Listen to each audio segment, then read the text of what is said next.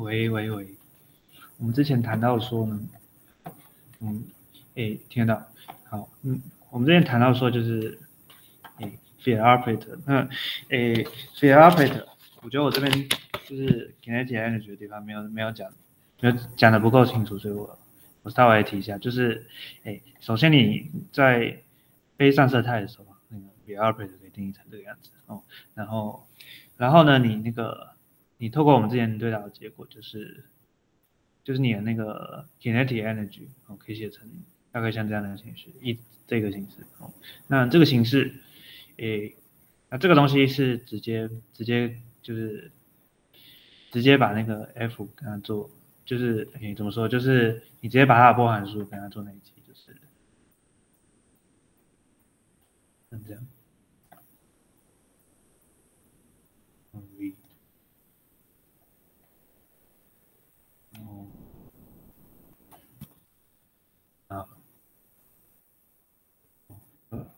照顺序这样下去，然后你把它沿着两个坐标积分起来。哦，那这个东西，这个东西就是它的那个，诶，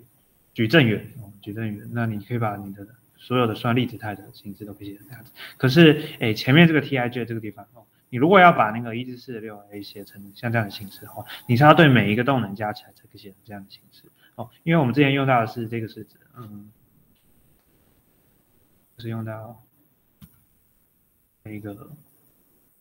一个会等于 sigma 阿尔法，嗯，来在这里。哦，那诶，你注意到这边是上 over 所有的阿尔法，那所以说你现在你的那个大 T 就是你的总动能会等于 T one 加 T two，一直加下去，嗯，咚咚咚咚。那诶，当你 T one 的时候，T one 代表说它只会对那个第一个向量，就是下标为一的所有向量向量空间。去去作用，所以说当你这个阿尔法，你当你把那个 T 的左左右两边，大 T 的左右两边加这个加这个的时候，嗯，因为这个东西它它在那个整个 Fox Space 上面会是会是 identity 哦，所以你这样左右加包包夹的时候，只有下标是一的时候，这个 P one 才会作用下去。哦，如果下标是二的话，它就不会作用下去，所以你单一一个作用下去，你是写不出像我们那个漂亮的形式，那你要把全部的诶每一个 mechanical 的动能就是你要把大 T 哦大 T 丢到丢到这个东西里面去，你就用左右两边都大 T 的两边都用这个包夹，这样它才会每一个阿尔法都作用。所以说你现在把如果把它写成这样的形式哦，一至四十六 A 这个形式，这个形式，那它已经对所有的动能每一颗粒子的动能去做，你只有总动能才能写成这样的形式哦。类似的你总动能总位能可以写成一至四十六。意思是四十六 B 的这个形式。那我们之前呢，在做那个诶 harmonic chain 的量子化的时候，哦，它也是总动能可以最后可以写成嗯类似这样的形式，嗯，所以对单一粒子的动能是不可以写成。诶，与其说是不能写成，不如说是，或者说是直接用我们的方法就没办法。那我们不确定说要写成什么样的形式。那有一个烂方法就是，就是我们可，诶，我们可以假如对任何一个 operator，我们可以诶用这种。取巧方法把它导出来，就是，诶，假装你这边东西，你想要知道它的矩阵圆是长这个样子，嗯，然后，A J，嗯，这样，然后上 over A J，然后呢，你就注意到这个，就是这个，所以你就把这个写成。你这个这个，你就把这个写成真空态，然后 AI，哦，你就把这个写成 AJ，哦，然后呢，你这个地方就是矩阵元而已，所以你就把它写成 TJ，TIJ，哦，那这个东西是矩阵元，那你现在发现这边有真空态板，就把真空态擦掉，那这个当然是不严谨的导法哦，那就导出我们一模一样的式子，嗯。这个是这个是乱导一通，这个没有逻辑上的依据。好，那你现在你对总这全部的总动能，你就可以把它写成上面的形式。那我们注意到，我们现在定义 f i e operator 之后呢，我们可以导出 f i e operator 的所有性质，就如同我们之前说的 kinetic energy 可以写成像这样的形式。那这样的形式的话呢，你你注意到那个你现在是原本 AI 和 AJ 都是在外面哦，你把它放到积分里面去，然后跟这个东西连起来，跟每一个跟每一个波函数连起来，那它就变成，然后你还要再做一次那个分布积分，然后它就变成像这样的形式。那这样子呢，在历史上的人就好像说，历史上的人就觉得说，好像是直接把那个古典的古典就是休丁格 field 哦，虽然我们还没谈休丁格 field 的拉光卷长什么样子，但是无论如何就是把一个古典的解变成。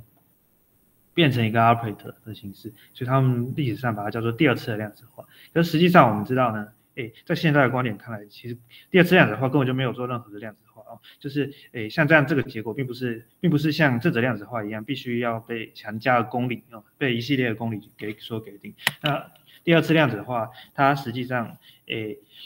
与其说是，与其说是量子化，还不如说是一个处理多体问题的。的方法之一，那也就是说呢，诶，实际上你处理多体问题是不是一定要用第二次量子化语言？其实其实不一定，你可以全部都用波函数的语言，然后你全部都用位置表现，那就跟我们平常平常在处理处理那个普通的 Hamiltonian 的时候，把它写成写成像这样的形式，诶。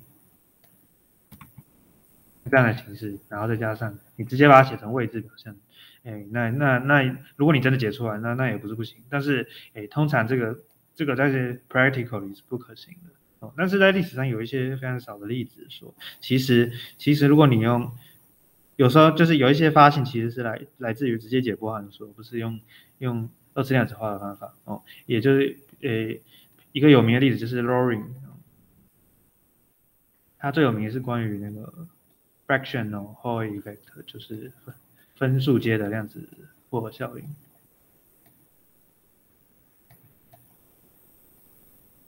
那这个东西它它是借由猜一个波函数把它猜出来的，还有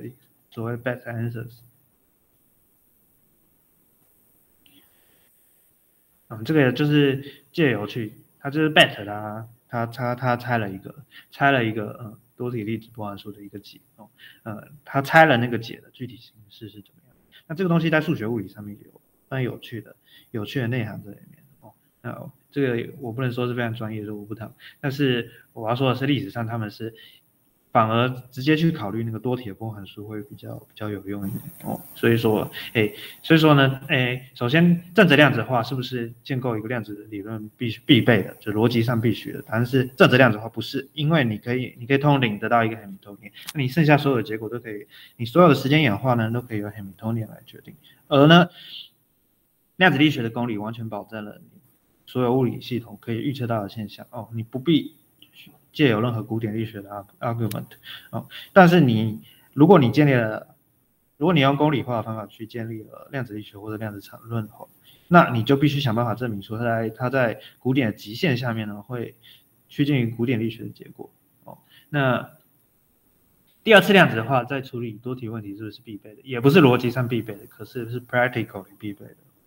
你可以完全的在其他的表象之下去处理这件事情，可是通常哦。如果你要用 state determinant 去操作任何东西，都是不可不得了的繁琐，所以这件事情 practically 是不可行的。所以通常仍然要把它写成二次量子化的形式。那如果你定义了二次量子化的形式，也就是说你从你从单粒子态出发，一个一个的去建构任何反对称或者对称。的粒子态，然后呢，借由定义哦，注意到这边的 annihilation 跟 creation operator 只不过是定义而已。虽然历史上呢，我们是先做正则量子化之后哦，然后呢，再把 phi 跟派去做 Fourier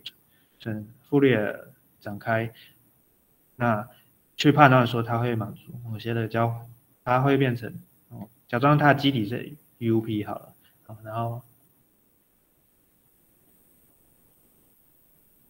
然后再加一个参数。那 C C 就是 caprice conjugate，或者叫 hyper，叫这个 emission conjugate，就是写成 H C。那我们在 abuse 我们的 notation，我们 C C 写成 C C。那 A，然后如果是三维就是第三 P。那通常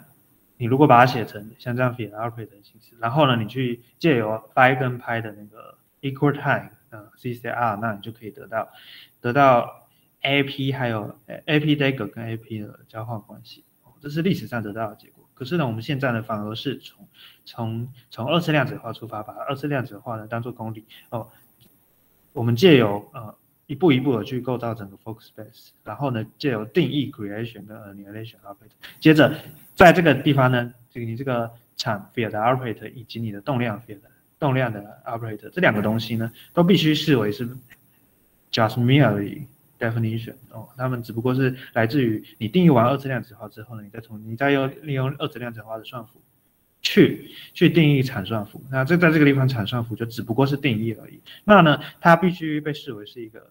它它它必须是被视为是一个工具，帮助我们去处理 state，而不是它本身有什么有什么物理上的产这个意义。虽然它它里面有 x 这个这个指标，可是它这个指标呢的意思是，哎，第几个产算符哦，所以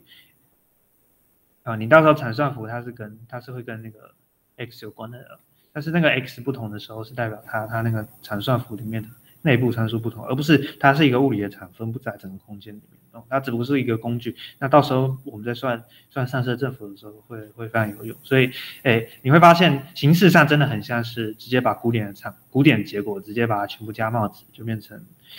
就变成那个就变成量子多体的版本。然后对于那个对于那个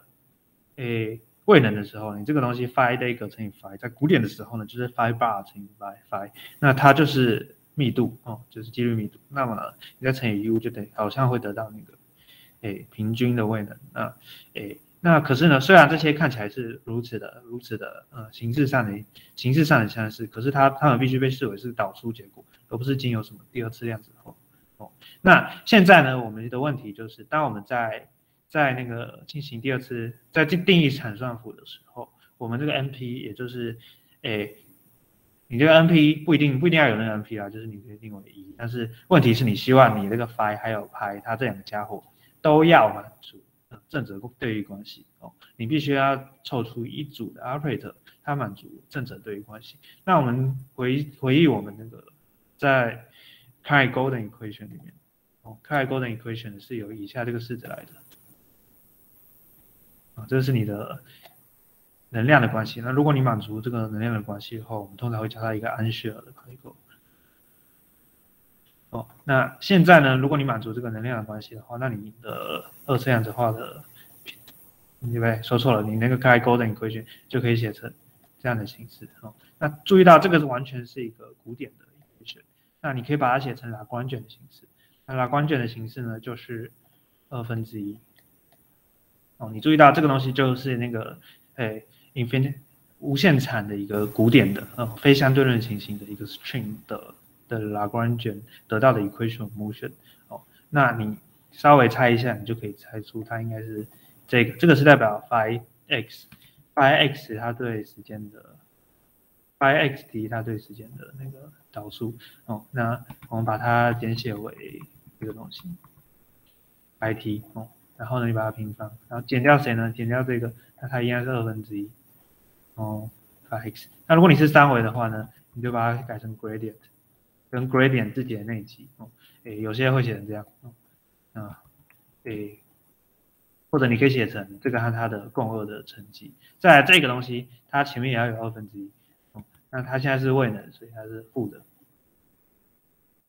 那为什么我们要从开 golden equation 去去找到一个找到它的拉光卷啊？因为我们希望说呢，它至少至少在某些情况下，我们这个拉光卷就是，哎，虽然你现在还没有量子化，你量子化之后的版本也要在某种程度上面会退化成开 golden equation 所造成的结果哦。开 golden equation 它本身是一个相对论性的方式，可是它不一定要用相对论性的方法去去理解哦，就是它可以看作古典的一那个非相对论性的方式。虽然它有劳伦兹 invariance 哦，那现在呢，如果你把这个东西，嗯，你把这个东西，你，去做去做那个那个 Lagrange transformation，Lagrange transformation，那你就可以得到哈密顿的密度哦，那它就会等于诶二分之一派平方，然后再加上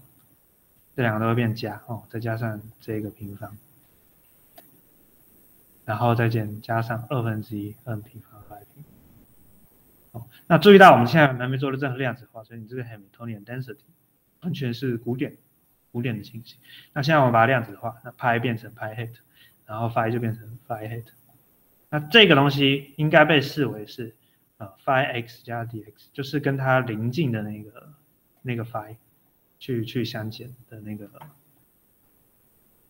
像这样的东西哦，所以说这个东西在古典上面是看起来是任两个粒子之间的位能，然后最后一个东西呢是来自于外场，那这个时候外场它的位能是这个很奇妙的抛物线的形式，那你可以继续考虑一些更奇怪的位能哦，那这个叫做 fine theory，也就是说你可以再加上，那通常我们会加一个因子这里，嗯，这个东西，那诶，那如果你加了这个东西，事情有点更加复杂。那你注意到，在古典的古典的情形，只考虑这个 Hamiltonian 的话，它将不会是一个 linear 的 linear 的，就是你的 equation motion 将不会是 linear 的。所以说，你如果想要以历史上那种 naive 的把 phi 变成 phi 的一个的方式，把把它的古典解写成写成写成像这样的算符的形式，那是不太可能的，因为它本身古典解就不构成一个线性空间。哦，所以说刚好你这个 Hamiltonian 啊，就是。开就是我们现在这一串的 Hamiltonian，它刚好它的 equation motion 是线性的，所以你可以直接把它类比类比到类比到那个量子的情形。嗯，但是如果它不是线性的话，那就没有这种简单的类比。但是你还是可以把它做正则量子化以及二次量子化。哦，嗯，有趣的就是一个非线性的东西的话，它量子化之后，你只要在量子力学里面或者量子场论里面，它 always 是 linear 的。哦，那那如果你希望说它在大量子数的时候，它会退化为古典的情形。这件事其实是告诉我们一件非常奇妙的事情，就是一个 linear 的系统可以去在某种程度上去去进一个 non-linear 的系统。哦，这是一个非常有趣的问题。为就是量子的量子系统要怎么去进古典的系统？那我们得到 Hamiltonian 之后呢，我们把这个哎这个 Hamiltonian 的 density 沿着沿着体积积分起来，就可以得到哎。Hamiltonian 哦，Hamiltonian，哎，那现在你整个 Fock space 里面的的那个的时间演化呢，都由都由那个 Hamiltonian 来决定哦，就是一样，小定格 equation 仍然可以使用，所以它是写成这个样子，就是两个都作用在 phi 身上，那你这样子的话，把 i 负 i h 除下去。然后再乘以 t 的话，这个东西是对于任何多粒子态的时间演化。那在这个时候，并不保证它的粒子数是守恒的，只是保证呢它在整个 Fock space 里面它的它的时间演化。那是我们通常觉得说，我是说，在这个 action 化，在这个公理化的定义方式上面，我们看不出它的粒子会不会守恒。嗯，但是我们有其他的 argument 可以跟他说，它粒子会不会守恒？嗯。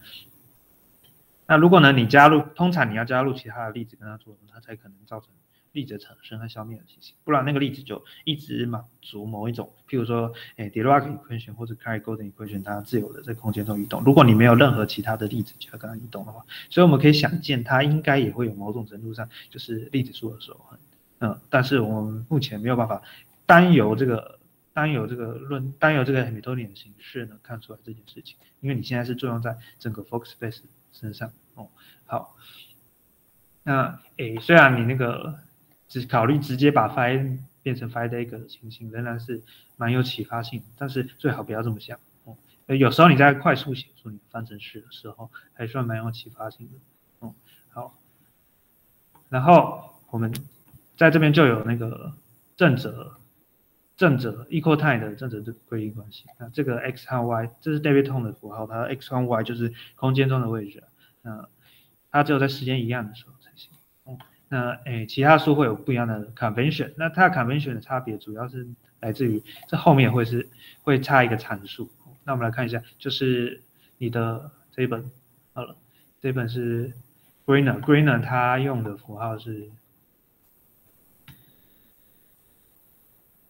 它用的符号是，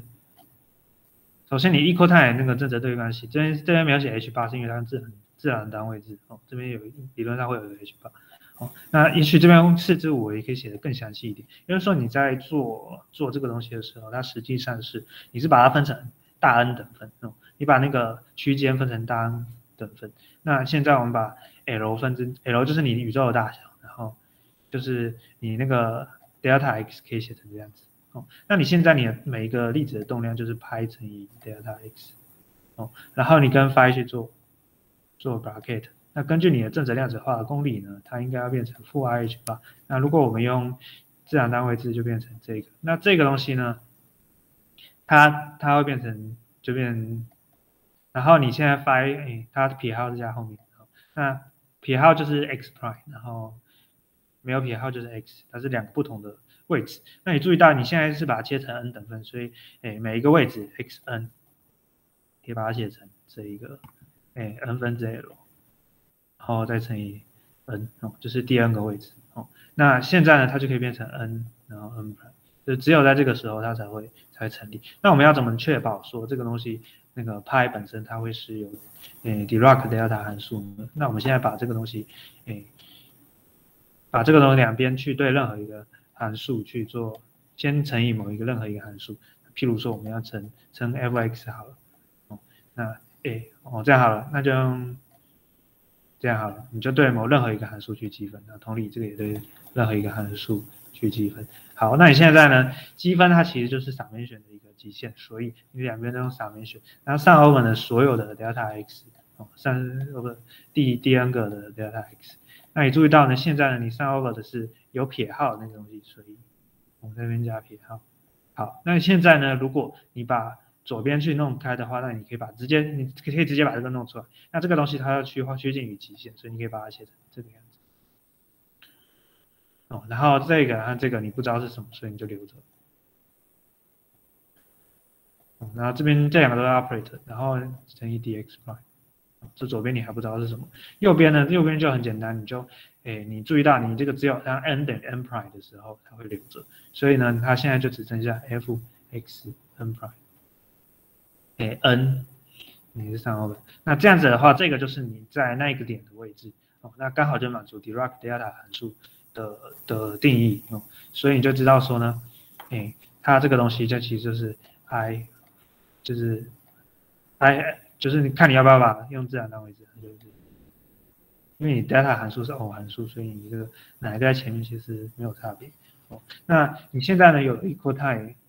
equal time commutation relation 哦，那你就可以你就可以去导出 Hamiltonian 要要满足的的式子。哦，那你现在 Hamiltonian 确实可以写成这样，可是呢，你还不确定说你的你的 phi 要写成怎么样哦，你的 phi 还有 phi 要写成怎么样？那实际上你可以考虑 Heisenberg 的 picture，Heisenberg picture，那这个是指在 Heisenberg picture 必须要满足，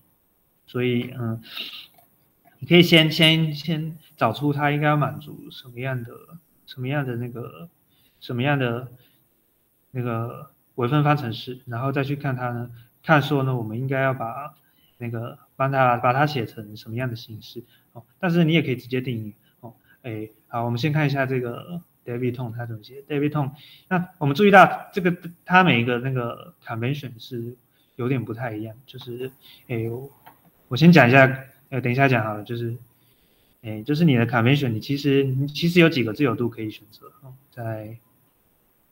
用这本。你其实有几个自由度可以选择，也就是说，当你你其中一个自由度就是你的 field 要怎么样去归一化，那哎，你这样是 scattering state 呢，你就不一定能够归一化，所以所以或者说你的归一化函数是含有 delta 零的这个东西，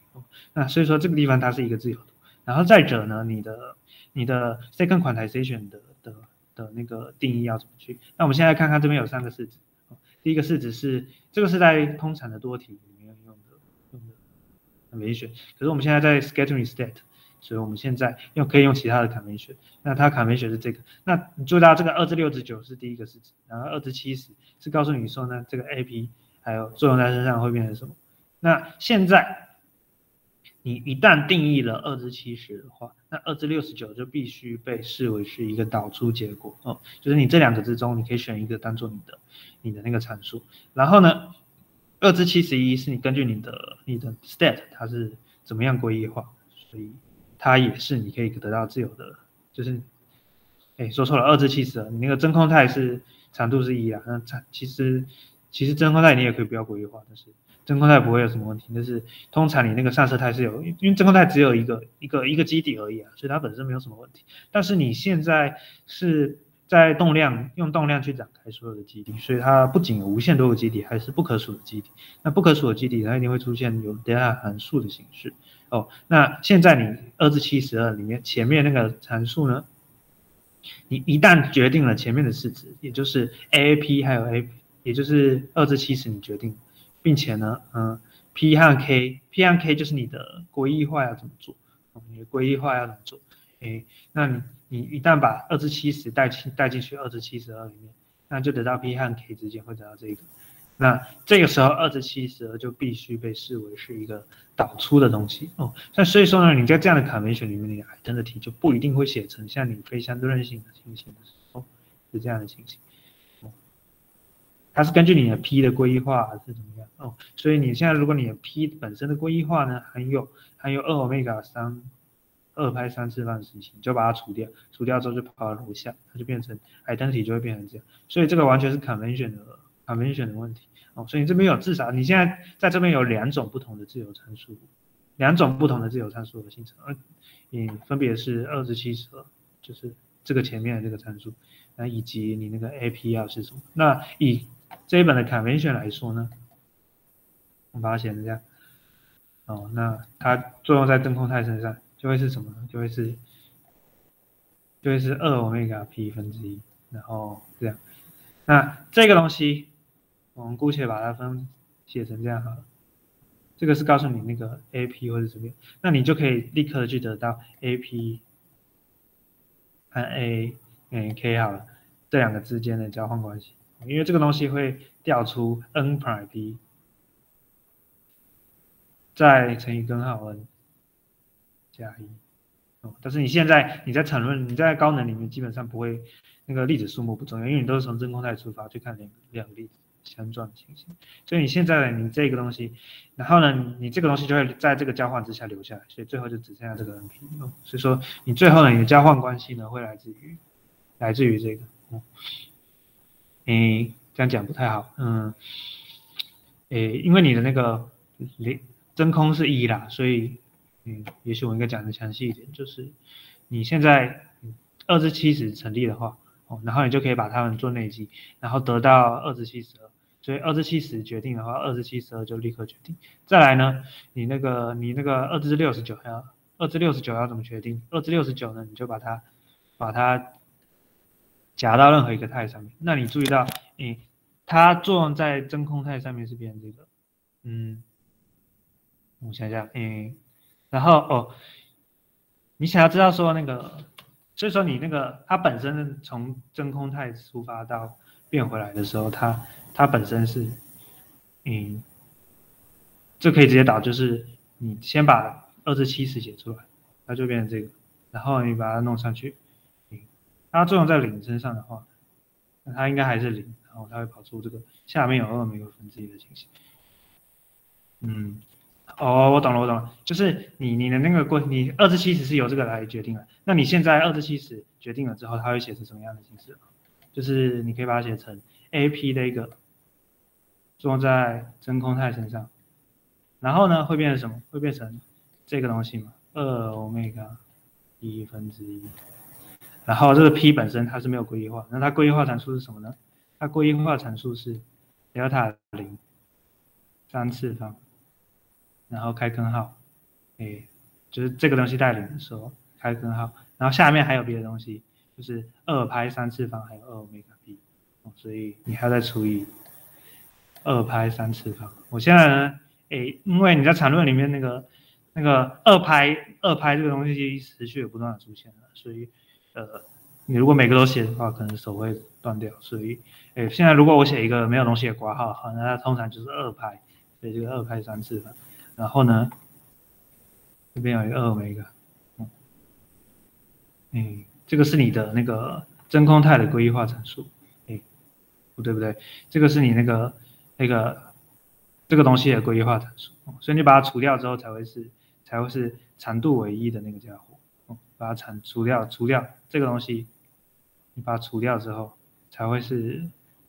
长度为一的这个家伙。然后呢，你注意到，哎，这个家伙是长度为一嘛？然后你跟它跟另外一个长度，你把它跟跟另外一个包起来，比如说这个，嗯，可以去包起来，哦，那那你就可以，嗯。就是，总之你就是二至六十九，你就可以用类似的方法去导。但是二至六十九是来自于你在真空态上面是是是怎么运作，或者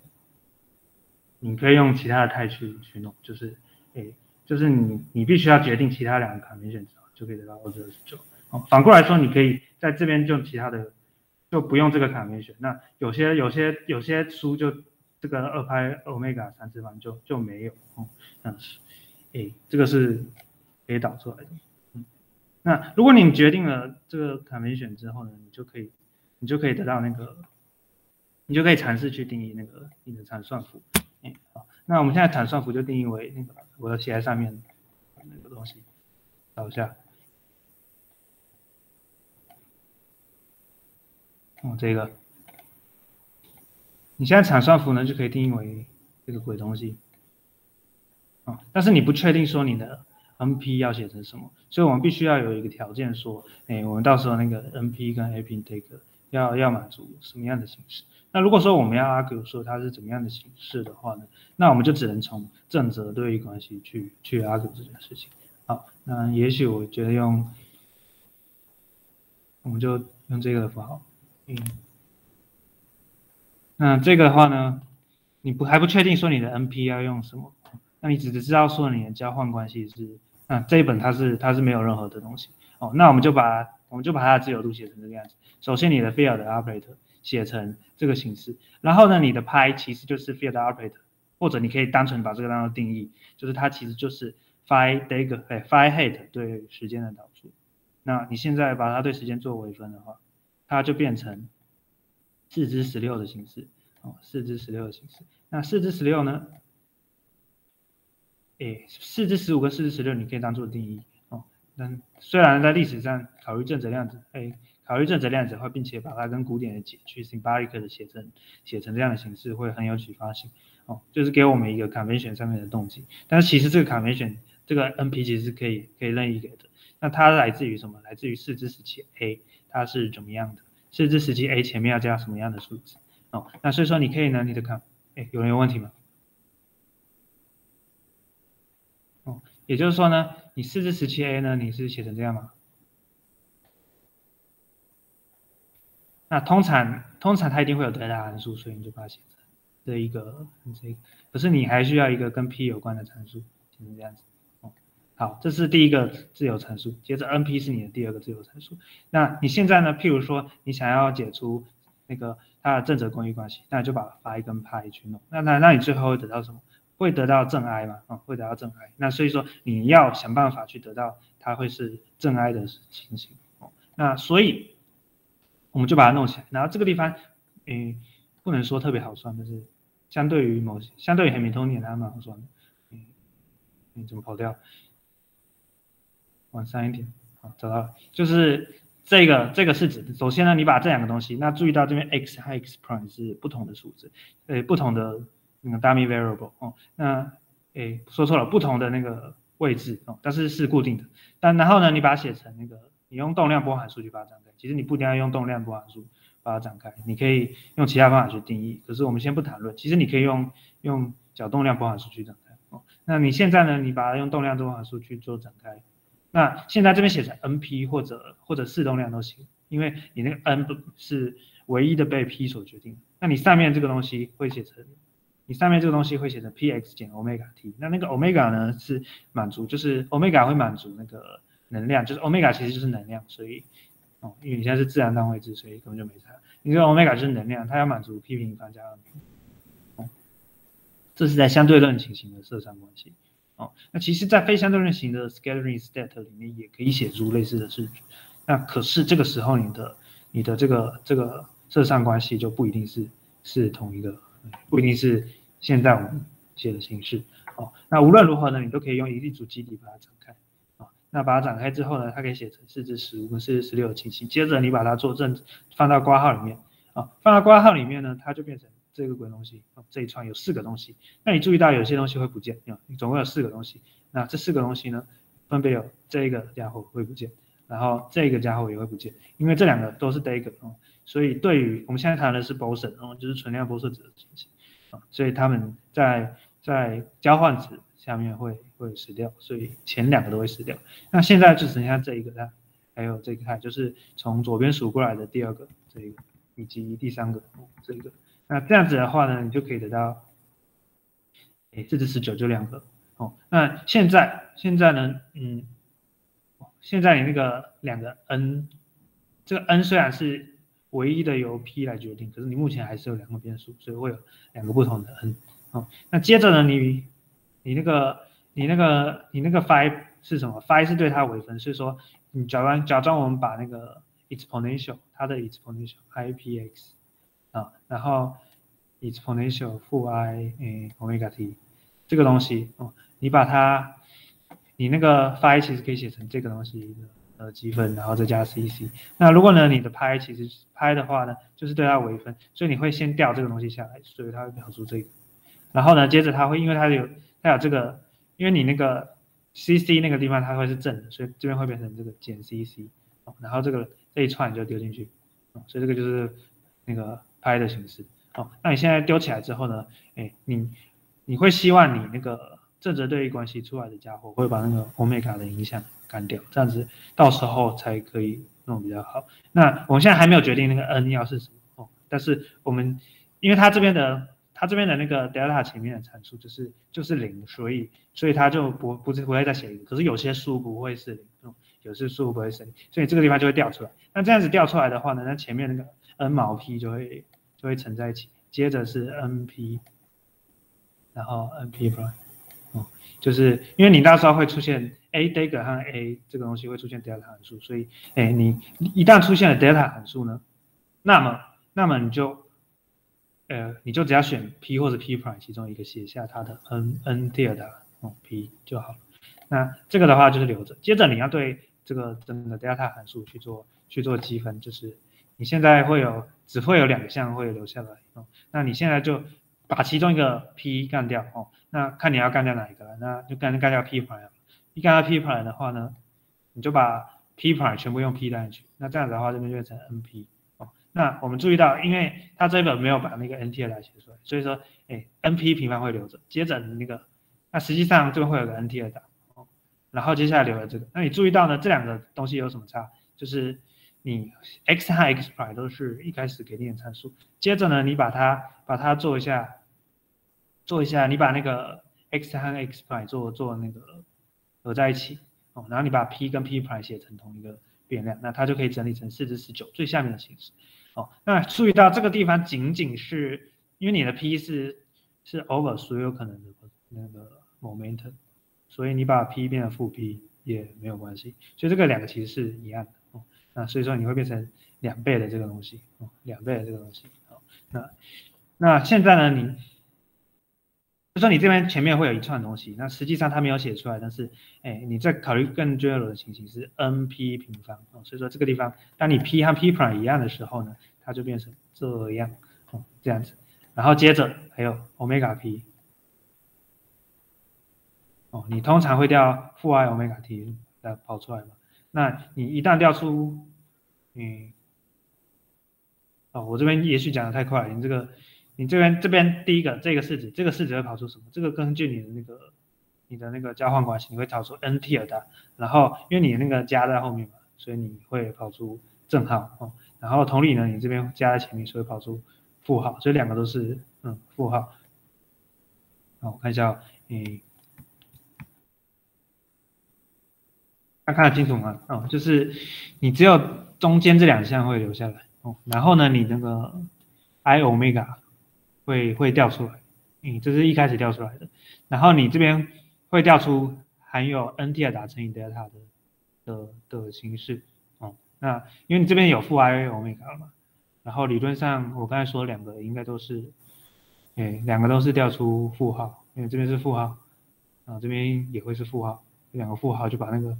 负 i omega 的负弄掉，所以就变成 i omega，所以就这两个，那这两个其实是一样的，所以你这边其实可以把它弄成两倍的，两倍的 i，哦，这个东西去积分，然后积分后面的 exponential i p，然后 x 减 x prime，然后沿着整个动量去积分。好，那现在你就真正需要的就是这一串啊，这一串东西它会是一，哦，那这样子就可以写成 delta 函数的形式。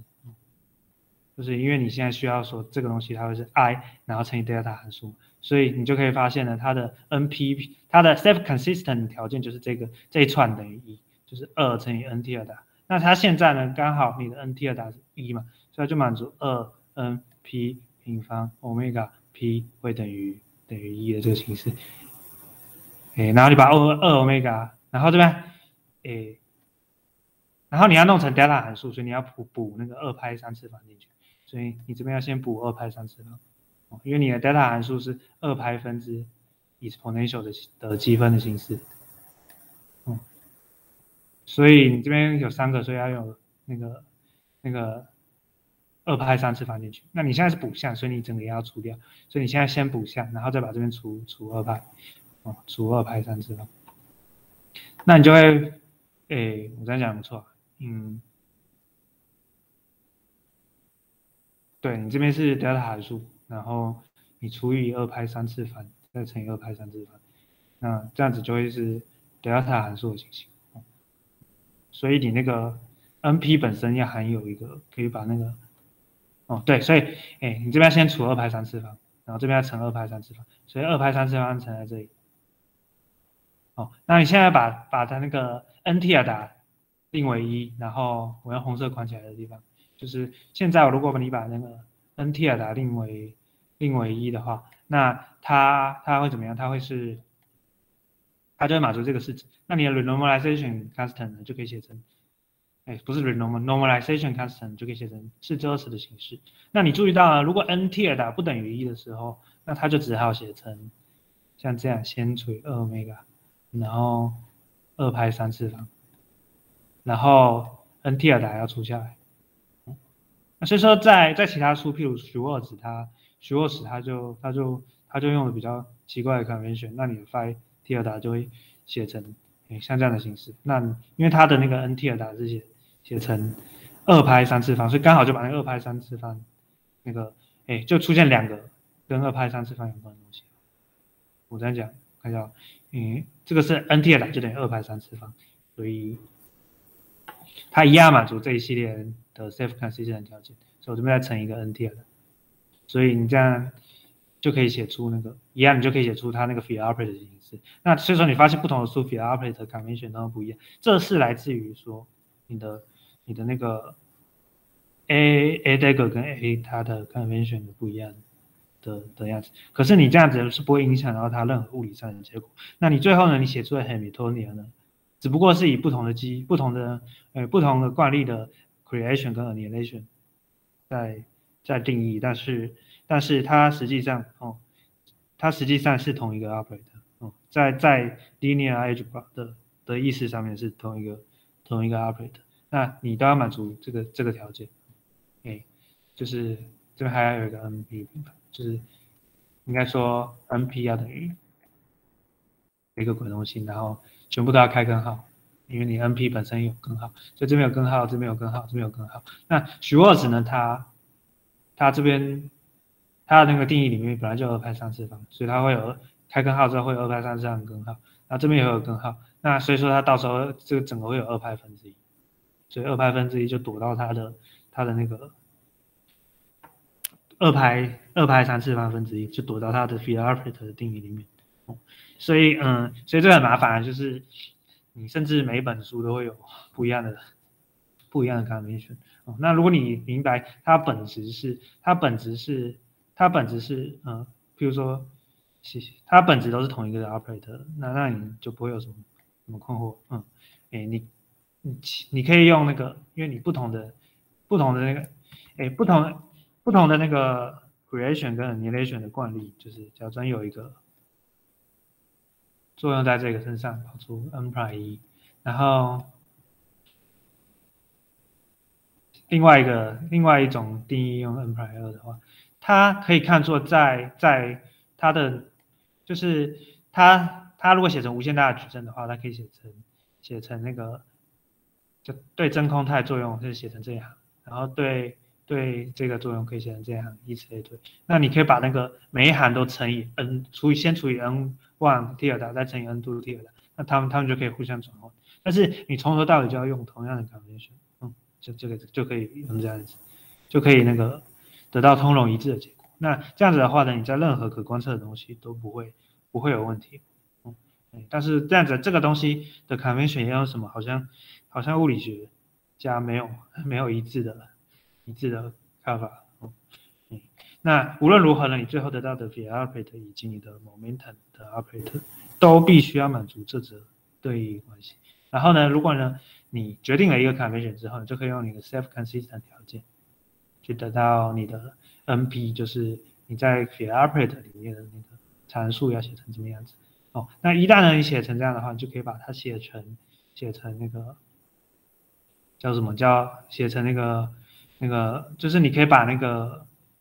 把那个 Hamiltonian 也写成那个 f i l operator 的形式，但是你要展开的话呢，就有点麻烦哦，就有点麻烦，所以这个这个地方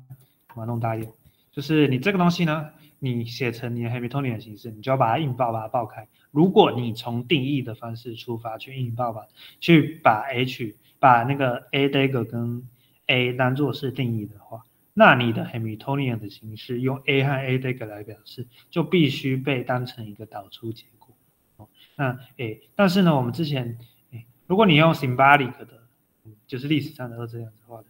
的形式的话，你会发现这个东西跟我们在多体里面的。的那个式子是非常相似的哦，应该说它只有前面了，但是因为你的 f i l operator 的定义跟多体有点不太一样，你多体里面的 f i l operator 它通常只会有前面，就是只会有 dagger 或者只会有只会有 a，那这个东西并不是说在 scattering state 就不会用到哦，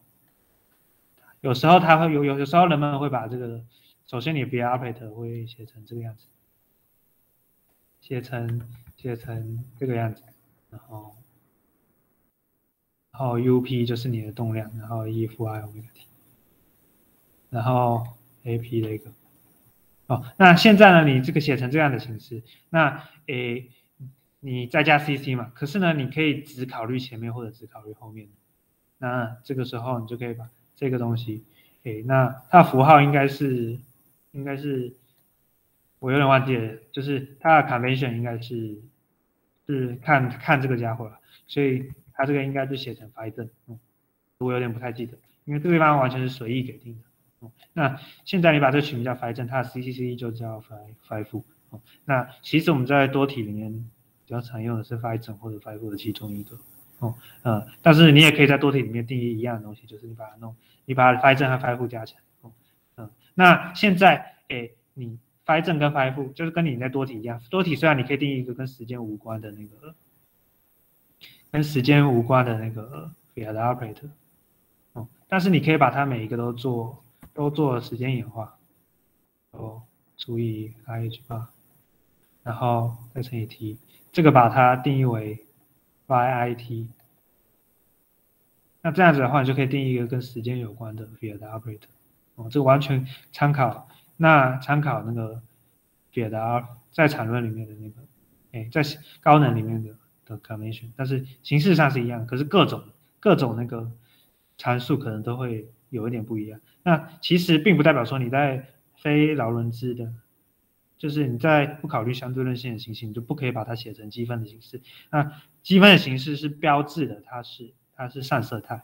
而不是标志它是一个非相对论。哎，标志里它是一个相对论性的产物，可是呢，哎，在凝态里面，我们经常有不满足 l o r e n z invariant 的的那个啊观卷的存在哦。Hamiltonian 本来就不一定或者是那个 Lorentz invariant，因为 Hamiltonian 它本身对应到的是能量，能量只不过是势动量的一个分量，它它本来就有可能不是 Lorentz invariant 哦，但是假如拉光卷它一定要 Lorentz invariant，在高能的时候，所以说我们有我们在我们其实，在分类那个所有可能的粒子的时候，我们用到的是它的 Lorentz Lorentz symmetry，但是这个东西在在凝态里面就不一定可以可以应用，所以很多在高能，如果你是考虑准粒子的话，它可以不要有 Lorentz invariant，它拉光卷可以不要有 Lorentz invariant，甚至有一些 model 它可以不满足费米统计或者博瑟统计，也就是所谓的任意子。年，但是我们并不是在谈零态。好，那现在呢？你那个，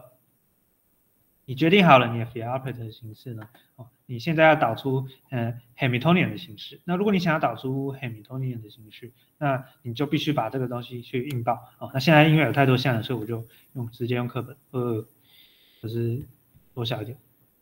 就是你现在要把 Hamiltonian 的形式写出来，嗯，好像跑掉，哦，在这里，好，这样刚好，就是。好，你现在这个 Hamiltonian 可以写成这三个东西。那这三个东西你分别用动量 operator 以及以及位置的呃以及 field operator 这两个家伙去展开的话，你会得到你会得到六个东西。诶，与其说是六个东西，或者说三大三大坨的东西啊。第一坨是这个，是来自于派平方；第二坨是这个，是来自于那个 phi 的那个 field operator 的 gradient 的平方；第三坨东西呢是来自于它的位能 n 平方。那如果呢你那个 h 是譬如说 phi 式理论，它可能会更加复杂。那这个时候要推导就就相当的麻烦了。好，那现在我们有三个东西嘛？然后这三个东西呢，哎哎，我们注意到，所以我们就看一下，就是我们要怎么去做。因为你现在有三个东西，然后你现在把它写在一起的话，哎，这个 U P 是什么？U P 就是我们上次上次那个上次我们就是位置的那个地方。那他他事先已经把它做。做了那个 normalization constant，但是因为他这边写的写的他这边那个有点太挤了，所以所以我觉得不太好讲，所以我们我们用另外另外一个东西，我们用另外一个那个我们用 David Tone 的那个 David Tone 的那个符号，可是可是因为 David Tone 他的那个符号也不太一样，所以你们可能要习惯一下。那诶，那。那如果如果把它展开的话呢，会每一项都会有两个积分。那你如果呢，你把两个积分合在一起的话呢，它就会变成，它就变成那个那个 delta 函数的形式哦，delta 函数的形式。那你要经过一番化简才会得到得到那个 Hamiltonian 形式。那变成 Hamiltonian 形式，你会发现它其实跟我们之前直接用 harmonic chain 得到的结果是是一模一样的。所以说，我们能把现在呢把这个。把这个打开，嗯，好，这个这个因为实在是很难算，所以我只能用纸的给你看，嗯，现在呢，现在你在拍平方会变成什么？你现在拍平方会变成第一串这个东西，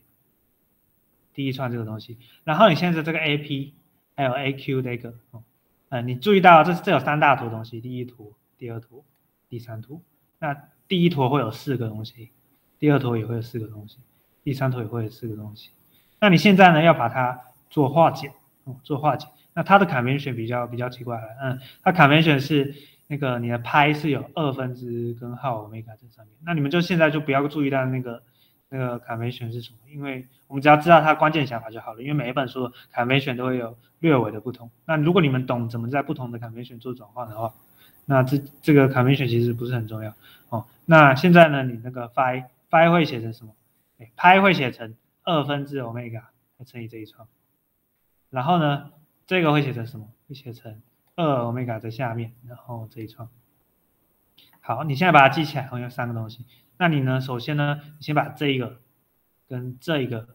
啊去做推导，这一个跟这一个。那我们一样的，你看啊，这两个是都是都是有那个都是没有。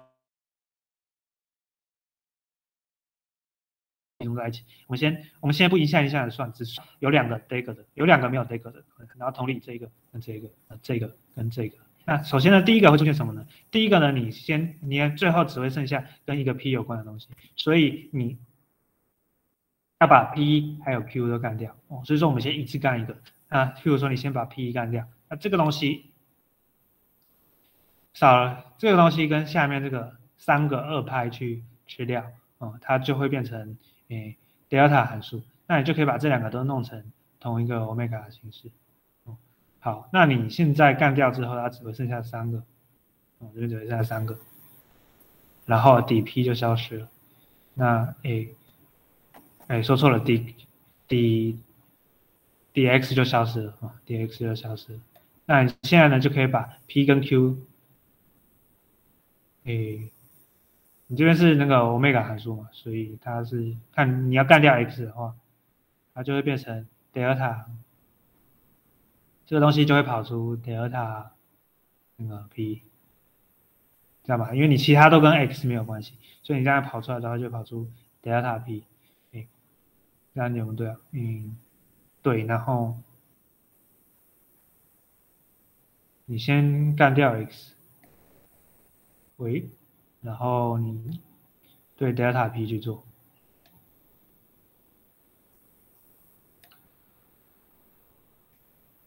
哦，对，它这边它这边很对对，它这边它这边这个 IPS 是指视动量，这个是它的那个 convention 是指视动量，所以如果你这边是指指示动量的话，里面还有一个一的负 i omega t 会会跑出来，哦，会跑出来，哎，然后你你那个是拍拍本身就有负 i omega t 了。我看一下，嗯，嗯，我看一下它符号是怎么样，嗯，就是发一次这个东西，发一次这个东西，哦，哦，因为它它在定义的时候这边已经有 omega，所以你那个你调出来之后，omega 跑到上面，就是你对它做一次微分之后，你 omega 跑到上面，接着呢，你就可以把它去去做那个去做那个化简，那这个时候的化简呢就比较。比较麻烦所以你就把这一项跟这一项合在一起。那这一项和这一项你会有 P 跟 Q 嘛？你会有 P 跟 Q。诶，那哦对对哦，你要先把 exponential 有两个，这里面有一个 exponential，然后还有这边有一个 exponential，它都有 x 嘛，所以你会先出 del 先出现 delta P 加 Q 哦，所以说这边会是 delta P 加 Q，就是这一项跟这一项合在一起，然后再对着 x 去做积分。那它会出现 delta p 加 q，还会把这这个二拍弄掉，变成只有三个的情形。那现在呢，你这边 p 加 q 嘛，那现在你就可以把，比如说把 q 干掉，或者把把 p 干掉。既然你 p 要留着的话，你就可以把所有的跟，嗯，哎，你到你目前只会应该说你跟 x 弄一次，你把 x 干掉之后，就会跑出 delta p 加 q。那接着你再对 q 去做一次积分。那它就会把 q 干掉哦，那现在就可以把这个 p，把它后面这个 q 改成负 p 哦，负 p，那所以它就变成这两项。那这两项呢，前面这个东西会是什么？它会是一个 omega，一个 omega，你把它除掉一个 omega，再补上一个 omega，它就变成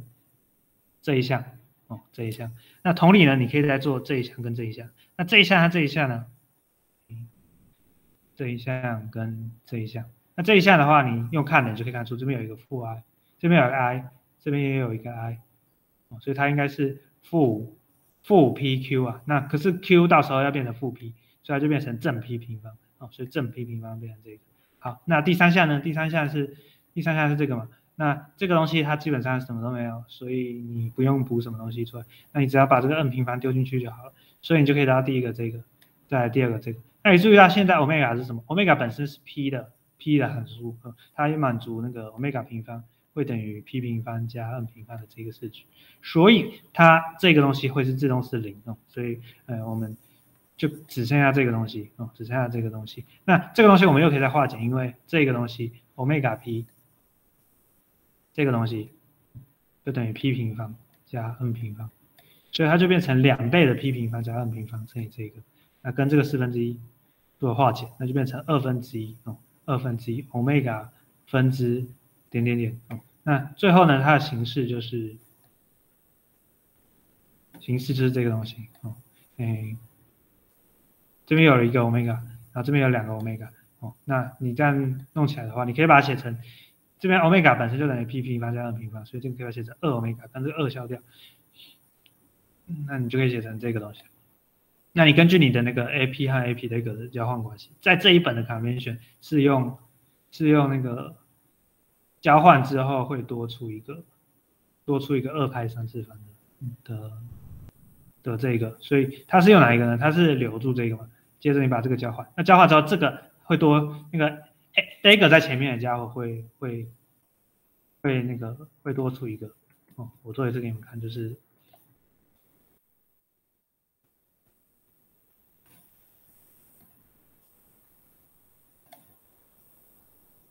你那个 A P AP 这个，然后这边 AP 这个，AP 这两个相加嘛，那右边这个呢家伙哦留着，然后左边这个家伙交换的话，它就变成 AP 这个 AP 哦，然后因为这个减这个会是那个德尔塔函数，所以你可以把它再加上二派三次方哦，它的卡门选是二派三次德尔塔上零。好，那这个东西就跟这个东西合在一起，所以就把二分之一干掉。可是这个东西的二分之一还留着，所以呢，你最后就可以得到二至二十二的最后面这个形式。好，那前面这个东西我们先不管，它是根据你那个你那个现在你的 state 是在，假如你是有动量的 state 的话，这个东西作用上去才会跑出能量。就你现在如果是在真空态的话，这上去就就没有，因为这是这其实是 number operator。哦，那所以你只会出现这个，然后你会发现这个是什么？这个是德尔塔三零啊，这个这个非常糟糕，因为因为你那个你是等于说你沿着所有的动量去做积分，然后你又跑出德尔塔三零。那现在这样子的话呢，你即使是作用在真空态上面，仍然会跑出一个德尔塔的积分，那就糟糕了，那糟糕了，那你的能量真空能量会是无限大，那怎么办？但是没有办法哦，没有办法。那能量无限大就无限大。那，诶，问题是我们要怎么去找出可以预测物理现象的结果？那，诶，在这个地方，其实你真空能它是无限大，是是是目前暂时看不出什么问题。但是你海明多点的意思就变得很奇怪，因为因为你实际上量的产论，它在它在这个 linear 的情形，它其实可以等价于无限多个正荡子的能量。无限多个正荡子能，一旦你的正荡子变成无限大，而且你考虑它的位能的时候，它就会有无限大的能量。这件事情是没有办法的。即使你对古典的 linear string，它如果是无限长的哦，有无限长、无限多个粒子，那你现在无限多个正荡子在无限长的的空间里面去去震荡的话，那它也会，它也没有办法。避免的会会有，你现在在整个全空间里面，每一个每隔的一段事情就放一个正荡子，那你把它所有的位能加起来，它也会是无限大。那这件事情是没有办法。那有一个方法就是你把每一个的位能都用不同的基准点去弄。其实这个已经非常接近我们在处理 Casimir force 的时候的思想，就是呢，你虽然你那个你以某一个位置当做零位能零，然后把每一个距离位能你的那个 potential 加起来的话，会是无限大。可是你可以重新调整你的零点，把每一个粒子的零点都变成不一样的话，那这样子的话呢，它有可能收敛，有可能收敛，都不一定总是收敛了。如果它每个都是，你想想看，有些级数会收敛，但是如果它每个能量都一样的话，那是根本不可能收敛的。嗯，但是如果你现在要谈论是诶动能的话呢，那动能的话呢，诶每个质量又是无限小，所以还是还是有收敛的机会啊。但是我们不保证它会收敛。那所以说，哎，你借由这样重新定义零点的方式去处理无限长的 string 的这件这个方法，它实际上最后相较于原本无限大的问的是减掉一个无限大哦，这个在数学上面是非常很奇怪的事情。那哎，一个一个一个粗略的讲法就是，你其实是把一个无限大的能量减掉一个不会动的无限大哦，因为你其实是把每一个把这一段的能量减掉。这一段的能量减掉，只是考虑每一个粒子振动的时候所变动的能量。那变动的能量有可能是有限的，可是总能量，可是你现在减掉这一串东西，它会是无限的哦。所以这个东西它在它在数学上定义是有一点问题的。然后，哎，这件事情并不单并不单纯的依赖于你那个我们之前谈论过那个空间的大小，并。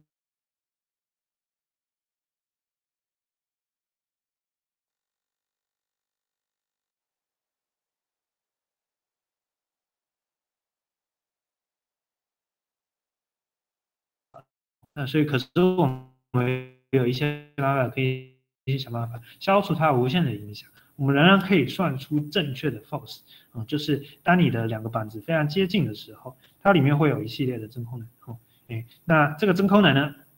这个真空能当你的板子在变大的时候，它会增加一点点。那你会说它明明就无限了，就是无限，然后还有无限再增加一点点。哦，这两个之间的差距是有其意义的。可是我们要把那个固定的无限给减。这件事情是重整化在物数学上最奇怪的地方之一。那但这个这个真功能的地方，只不过是重整化的最粗略版本之。呃，我们其实在很多其他地方有一个很奇怪的重整化，比如什么质量重整化、维度重整化之类的。质量重整化就是把质量稍微做一点变动，让它熟熟练，然后再再就加把质量再加一个小参数啊，然后让它回去。然后当小参数趋近于零，如果一开始就是某个级数里面含有质量，质量你就把质量做一个小小的变动。那你现在变动之后再加起来就可以收敛，然后你现在再把那个小参数趋近于零，结果发现还是一个收敛的结果。那这件事情是到底是什么意思？这个这个其实长久以来困困惑了困惑的人们很久哦。那现在如果如果你要考虑维度重整的话，就是你把维度再加一个小小变化。你说维度只能是整数啊，那我们就不管。如果我们可以导出从某种形式上的对任何维度成立一个公式，那我们再把那个维度带入小数点，哦，这个更奇怪哦，然后再让那个小数点趋近我们原本的三加一维式。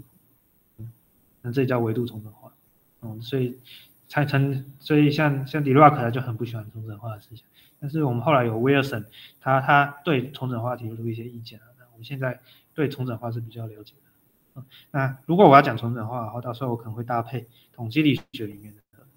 去讲，因为统计学里面的重置化其实就是量子场论里面的重置化，它本质上是一样的，可是教科书不一定会点名这件事情。好，那现在呢，嗯，我们就姑且。休息十分钟好了，嗯。